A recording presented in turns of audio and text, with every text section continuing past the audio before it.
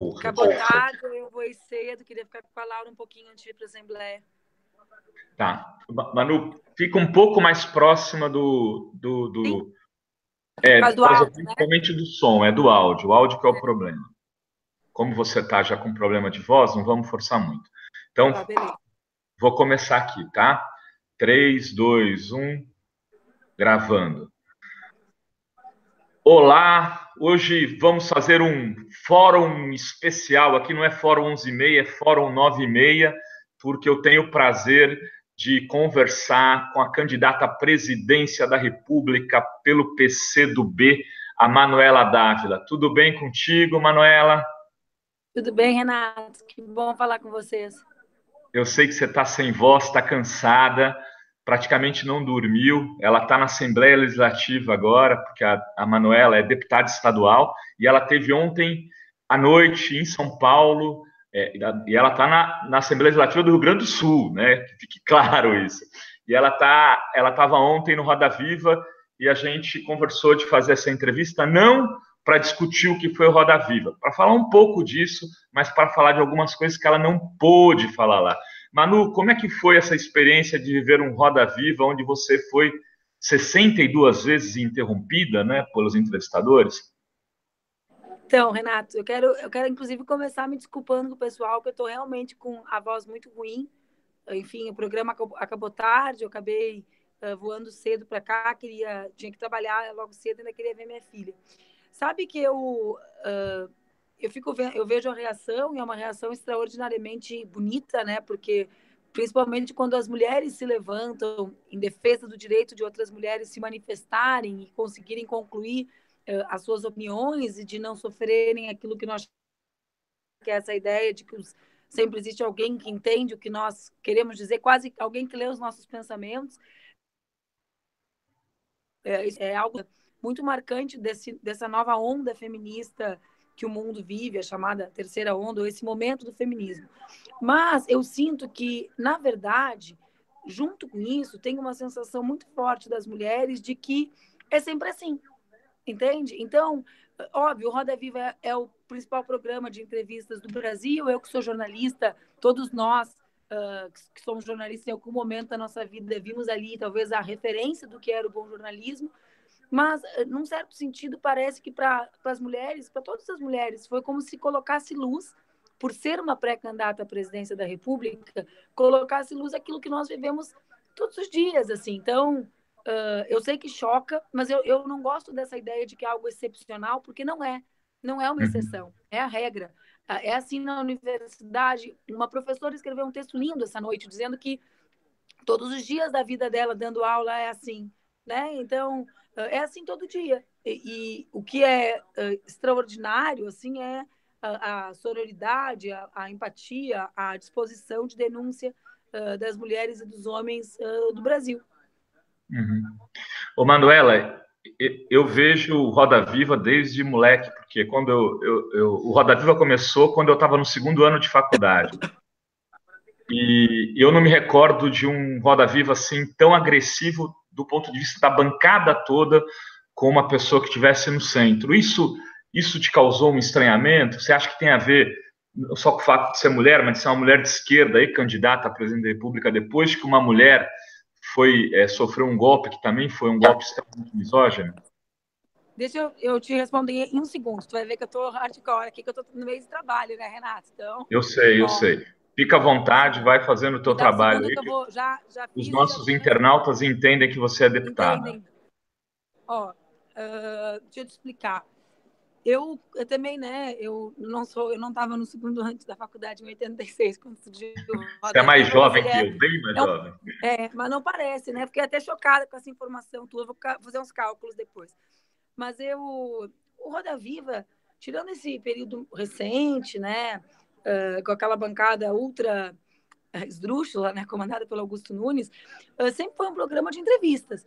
Programas de hum. entrevistas podem ser com mais tempo para o entrevistado falar ou com menos tempo, mas em geral, ah, com mais, enfim, com mais interrupções ou menos.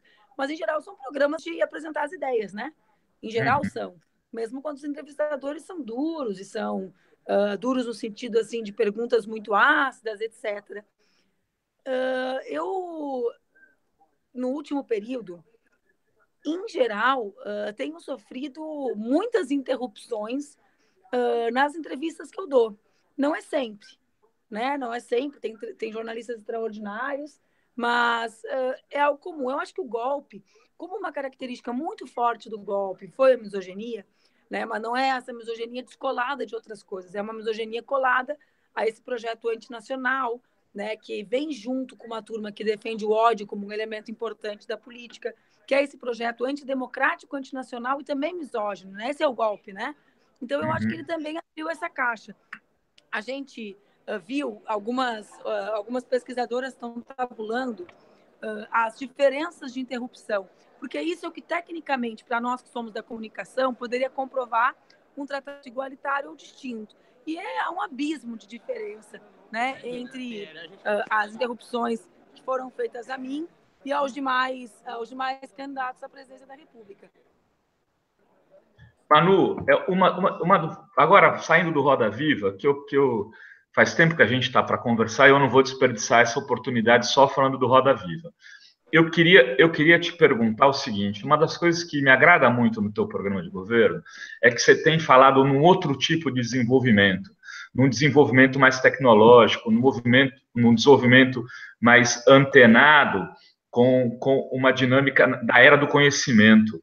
E isso, esse tema tem sido muito pouco debatido é, nessa na disputa eleitoral e foi muito pouco debatido nas outras também. Eu acho assim, né? Eu tá, concluiu, Renato? Eu ouvi. Concluí, né? concluí. Aqui nossa ligação tá meio, né? É, até, até ontem existiu talvez um dos momentos de maior debate Uh, o João era, foi quem uh, fez perguntas e deixava eu concluir os raciocínios. Já teve uma pergunta ali um pouco sobre esquerda europeia, padrões de desenvolvimento. O que, que eu acho que a gente precisa refletir? O Brasil tem uma escola extraordinária, uh, desenvolvimentista da década de 70, que acho que é o que inspira aqueles que pensam um projeto de desenvolvimento para o Brasil. Mas esse projeto, em 2018, ele tem que ter necessariamente características também novas, né? contemporâneas. Quer dizer, a história ela não pode ser como se, como se estática fosse, como se a realidade fosse estática. Então, se é verdade que o Brasil precisa da indústria tradicional para se desenvolver, nós somos um país uh, sem infraestrutura, por exemplo, né? Então, se é uma verdade que não dá para a gente se agarrar a ideia ou vender a ilusão de que a tecnologia pode salvar o mundo, né? Salvar o nosso mundo, uh, permitir os empregos de mais qualidade automaticamente por aqui, uh, seria uma tolice nossa não perceber o que essas as chamadas tecnologias disruptivas podem permitir mais velozmente de, uh, do que alguns chamam de pular etapas para o desenvolvimento do país. Então, acho que é algo que o Brasil precisa também pensar como prioritário. Né? Eu não sou dessas que acha que é a única coisa que vai salvar, porque seria equivocado num país, inclusive uhum. para viabilizar né, a tecnologia, a gente precisa de infraestrutura. E a segunda questão que eu acho que também uh, é nova do, do, ponto de vista do que é o desenvolvimentismo, né? Essa, uh, esse veio por onde correm os programas do nosso campo, é o tema de perceber que gênero e raça não são temas identitários de forma pejorativa. construção da desigualdade brasileira e que, portanto, tem que ter um papel central no projeto de desenvolvimento nacional. Uh, quer dizer, o Brasil é, não é um país que é desigual de forma igual entre mulheres negras e brancas, ou entre nessa uma indústria que que terá participação de, do povo brasileiro se os negros estão fora das nossas universidades ou se morrem 40 mil jovens negros por ano, são eles estão encarcerados. Então, ou se as mulheres são alijadas dessas áreas tecnológicas, por exemplo, historicamente no Brasil. Então, uh, acho que pensar o, desenvol o desenvolvimentismo, o desenvolvimento nacional em 2018 necessariamente precisa uh, fazer, uh, digamos, essas duas questões mais, mais atuais, né? Ô, ô, ô, Manuela, é assim, a gente esteve recentemente juntos lá na, na Feira do Livro Político e você escolheu dois livros de, de cunho feminista para debater. Você tem falado muito disso. Como seria fazer um governo feminista? é, se você fosse eleita presidente da República? Sabe que um dos livros que eu escolhi ali é um livro extraordinário que foi traduzido recentemente, que ele é um livro feminista, mas ele é um livro de escritos pré-revolucionários. Ele é um livro sobre Estado, né? Ele é um livro que tem artigos de várias mulheres ali da, da região, não são só não são só da região, não são só russas, mas daquela região ali, algumas escandinavas, é com relação ao papel do Estado para a criação de condição de igualdade para mulheres e homens. Eu entendo, Renato, que o Estado né, tem um papel estruturante num conjunto de políticas públicas, para começar por aí. Então, um governo feminista necessariamente tem que ser aquele que percebe que o Estado é o que garante, numa sociedade machista como a nossa, a maior emancipação ou menor das mulheres. É por isso que um Estado com medidas restritivas, como são as medidas da crise no Brasil e as medidas de austeridade no mundo inteiro, pune, sobretudo, as mulheres. Então, se a gente vai pegar a coincidência, entre aspas, histórica, né? porque para mim não é coincidência, dessa primavera das mulheres com a crise, na realidade, qual será mesmo o, a intersecção verdadeira entre o que representa a crise na vida das mulheres né, e a necessidade das mulheres, a necessidade objetiva das mulheres se mobilizarem por mais direitos. Então, para mim, um governo feminista é um governo que consegue perceber essa condição de desigualdade, né, que é uma condição que se materializa de várias formas, mas que é estruturada, sobretudo, a partir da relação com o mundo do trabalho e com o espaço público, né? As mulheres, eh, numa sociedade machista, elas têm um tratamento diferente eh, a partir da sua relação com o capital no mundo do trabalho e a partir eh, da, da ideia, né, ou da, da, da, ausência, da invisibilidade dela no espaço público. Como que a gente consegue reverter isso?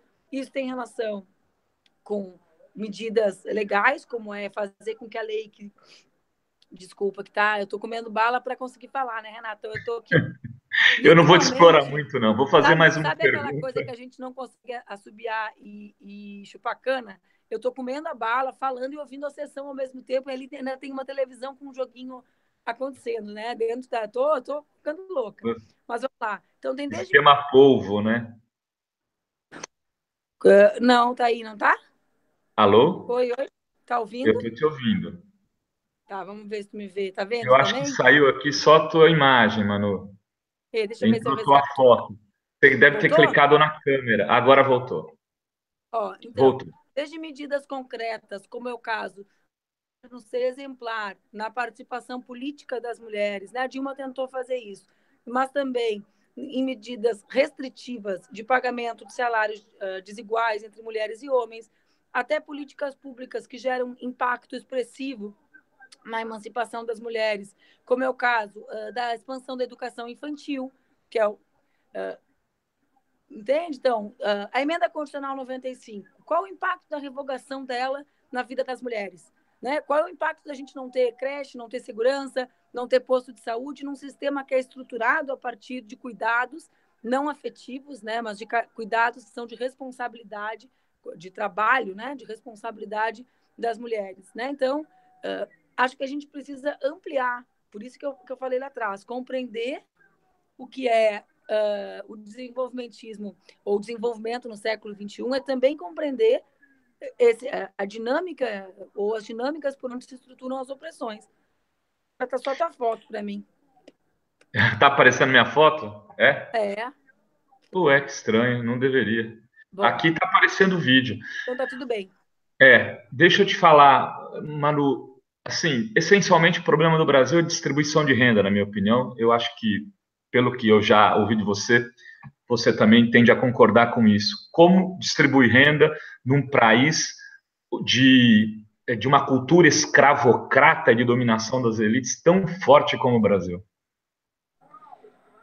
Bah, de muitas formas, né? Eu estava refletindo ontem, a, quando a Benedita escreveu, acho que uma das primeiras mensagens que eu recebi de solidariedade foi uma mensagem da Benedita.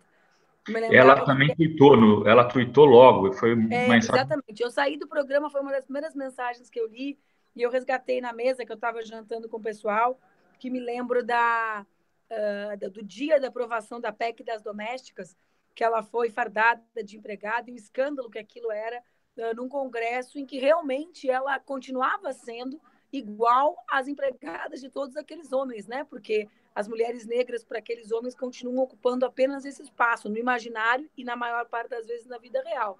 Então acho que o Brasil é um país que precisa, em primeiro lugar, ter justiça tributária, né? Porque a gente é um país desigual de várias maneiras. O Brasil e, e tributariamente também a gente é um país que cobra, que perdoa os impostos dos multimilionários e cobra muitos impostos dos nossos pobres.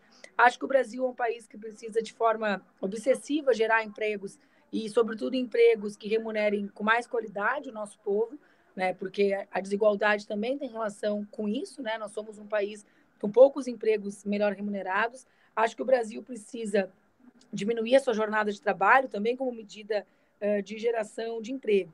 E acho uh, que existe uma, uma forma, né? Um, uh, eu também não sou tão tão absolutista nisso como alguns, mas acho que é, acho que talvez seja um dos principais caminhos, que é o tema de como garantir que as nossas crianças sejam igualmente estimuladas no sistema educacional. E eu, pelo que estudo, Renato, uh, percebo a relevância a relevância que nós não demos, né, historicamente, para a educação infantil e a necessidade disso acontecer, né, porque isso tem relação com a emancipação das mulheres e tal. Tem outra, outra coisa que a esquerda fala pouco, em que eu fui me convencendo, estudando durante essa pré-campanha, que é o tema da violência como um elemento construtor da desigualdade, e não só como um elemento resultante da desigualdade social, né? O nosso campo político, a gente sempre fala, a desigualdade social agrava a violência, a gente sabe disso, recentemente saíram alguns dados que, uh, que comprovam. Mas a violência no Brasil e o grau de proliferação de situações de violência extrema, sobretudo de óbitos de jovens e de encarceramento de jovens negros, também uh, faz com que a, com que a violência seja um dos elementos que estruturam a desigualdade. Porque um jovem que é encarcerado, uma família que perde um pai, que perde uma mãe, que perde um filho, ela invariavelmente será uma família estruturada, inclusive economicamente diferente. Né? Alguém que é preso, invariavelmente ou raramente conseguirá um emprego formal no mercado de trabalho. Então, eu também uhum. creio que o debate sobre segurança é um debate que nos interessa, que nós, nós historicamente, acho que, não vou dizer que a gente se omitiu, porque é um termo forte demais, mas fizemos de forma pouco adequada e não percebemos uh, como ele estrutura ou como ele perpetua a desigualdade abismal assim do Brasil, né? A, a desigualdade do Brasil é um negócio tão extraordinário que os não brasileiros às vezes não entendem, né? Não conseguem perceber o que é, né? O que é viver num país que, é, que os ricos têm tanto e os pobres têm tão pouco, né? É, é, nem os Estados Unidos, que é também muito desigual, uh, ele é dois terços, né? É, o índice de Gini é 20, nós, o nosso é de 30, a Europa em média é 10, né? Então é uma, é uma loucura a desigualdade brasileira mesmo. Perfeito. Manu, eu não vou te explorar muito, mas já quero combinar contigo uma entrevista em breve, em loco, que a gente possa falar bastante. Eu vou adorar, de repente, Renato. Eu ir com outras pessoas. E eu queria, assim, em nome, acho que de muitos jornalistas e de muitas pessoas que, que tuitaram, escreveram e que gostariam de estar fazendo essa entrevista contigo agora, é, te parabenizar pela tua atitude correta, limpa, educada, no meio de pessoas tão pouco educadas como ontem ali no Roda Viva. Como jornalista, eu quero te pedir desculpas. Eu quero agradecer vocês, Renato. Eu quero agradecer a ti, a Fórum em particular. Vocês foram extraordinariamente generosos comigo, né? Porque eu li alguns textos muito bem escritos, muito bonitos, até muito sensíveis, além de tecnicamente apurados, muito sensíveis com relação aos episódios de ontem. E, na verdade, a internet ela também proporciona isso, né, Renato? Que a gente que a gente tenha hoje muitos jornalistas muito capazes expressando as suas opiniões e a realidade brasileira. Então, eu que agradeço a vocês pela solidariedade ontem, mas pelo trabalho, pela democratização da mídia sempre. E vamos fazer essa entrevista. Logo que vamos. eu me tornei candidata, eu fiz uma, eu fiz uma entrevista grande com vários uh, de vocês. Vamos fazer outra, eu vou adorar. Entrevista Perfeito. que eu posso vou... falar até o fim. Vocês juram que eu falo até o fim? Opa, você, assim, você vê que aqui as entrevistas comigo têm as características, não é só contigo hoje. Eu deixo o entrevistado falar, porque assim, eu fico imaginando, a grande coisa da internet é que você não tem essa, essa camisa de força do tempo. Se eu consigo me entrevistar com alguém, é para ele falar, não para que eu fale, né? Sabe que nos dias que eu tô assim mais ácida, que não era o caso de ontem, que eu não tava tanto, eu pergunto, né? Ó, sou jornalista, quer que eu te entreviste ou tu quer que eu seja entrevistada? Porque, né? Eu também posso Pois é, pois é. Eles esqueceram que você é jornalista também. Mas obrigada, viu, Renato, mesmo. E um beijo, querida. Sorte aí, tudo de bom. E continue que essa tua candidatura está valendo a pena. Um beijo para ti. Um beijo. Valeu.